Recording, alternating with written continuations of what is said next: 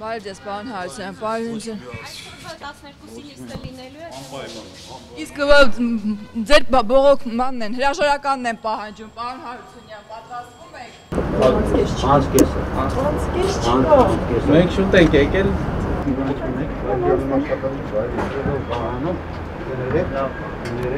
Խնդրում եմ միջամտեք, հա։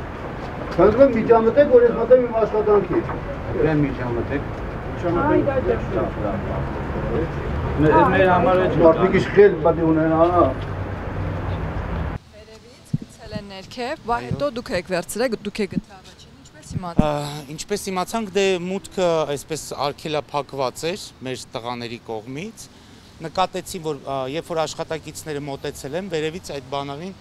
գցել են ներքև, որպիսի բացեն են։ Ենթադրում են, որպիսի այն մուտքը բացեն։ Նո տղաներին ավելի շուտ են հասել եւ վերցրել են։ Բանալին ձեզ մոտ է։ Այո։ Սա է բանալին։ Դուք վազելով վերցրել եք, հա։ Հա, ենթադրում ենք, որ իրենց բանալին է, ակցիայի ավարտից հետո փոխանցենք։ Ես պահանջում եմ նաև ՎՏԽ-ի հրաշարականը, դուք այսօր նման քայլեր մտադիր եք իրականացնել։ Ներողություն։ Հայլերի մասին տեղեկանալ դու։ ԲԴԽ-ի ասացի մեջ ոչ մի տենց արտարոց բան չկա, իրանք ասում են, որ այնտեղ երկրորդ կետն էր, որի ձևակերպման հետ ես մի քիչ համաձայն չէի, որ անընդունել ենք համարում դատարանների բնականon գործնության խաթարումը։ Ես էլ կարծում եմ, որ իրականում այսինքն եթե դա պատասխան էր վարչապետի կոչին, ուրեմն ես վարչապետի կոչի մեջ դատարանների բնականon գործնության խաթարում չեմ տեսնում։ Ես տեսնում եմ հակառակը, որ վարչապետը ի վերջո, նույնիսկ իմ կարծիքով ուշացած, հիմա ի վերջո ոնց որ ուշադրությունը գործադիրի եւ օրենսդիրի սևեռումա դատական իշխանության իրական արմատական խորքային փոփոխությունների վրա, որը ողջ ողջունելի է, ու պետքա բոլորս աջակցենք եւ ոչ միայն աջակցենք, այլև առաջնորդենք այդ փոփոխությունները, որոնք ինչու՞ չէ երբեմն կարող են լինել վիրահատական, ինչպես ես երեք նշել էի։ Իսկ ԲԴԽ-ն վերահսկողություն իրականացնելու իրավասություն, լիազորություն չունի, չէ՞ որ բողոքներ ի վերջո դուք ստանում եք երևի թե այս կամ այն դատավորների վերաբերյալ։ Շատ լավ հարց եք բարձրացնում, ոչ չունի վերահսկելու իրավազորություն եւ սա մեր դատական օրենսգրքի ուրեմն խնդիրներից մեկն է, որը պիտի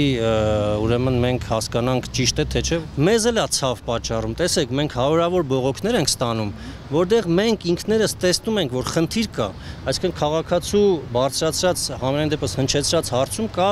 իրավունքների հիմնարար խախտում եւ այլն եւ այլն, հա, վարկագծային կանոնի առերևույթ խախտում բայց մենք լիազոր սահմանադրությամբ եւ դատական օրենսգրքով լիազորություն չունենք որևէ բան անելու այդ պահին։ Միակ բանը, որ մենք կարողանում ենք անել, պարզապես վերահասցեագրում ենք այդպիսի դիմումները եւ նամակները կամ կարգապահական հարցերի հանձնաժողով կամ արդարադատության նախարարին։ Կոպիտ ասած, եթե հիմա Քոչարյանի գործը քնող դատավորի մասով ձեզ բողոք կար, դուք ոչինչ չէիք կարողանալու անել։ հա, եթե ուղակի բողոք գա, ոչինչ չեն կարող անել։ Պիտի գա հարուցված կարգապահական մարույթի մասին որոշում կամ կարգապահական հանձնաժողովից կամ արդարադատության նախարարից։